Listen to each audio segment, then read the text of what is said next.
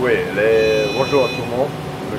C'est un plaisir d'avoir la de l'ONAS pour la réception définitive des travaux de tunnel de l'émissaire maritime de Cambérène. Ce tunnel, on a, fait a expliqué dans les différentes réunions, ce tunnel dépasse la distance de 1 km. On a fait 1203 mètres de tunnel. D'accord? Et cette longueur, ça donne la référence au niveau mondial parce que ça dépasse la longueur de 1 km.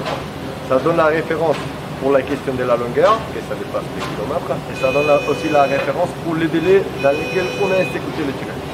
Le tunnel, réellement, on l'a exécuté dans un délai de deux mois maximum. D'accord?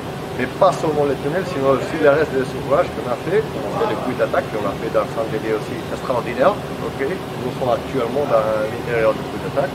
Mais le plus important, c'est remarquer la question que cette tunnel, ça rentre dans les rankings mondiaux et ça rentre aussi dans la référence au niveau de l'Afrique de l'Ouest.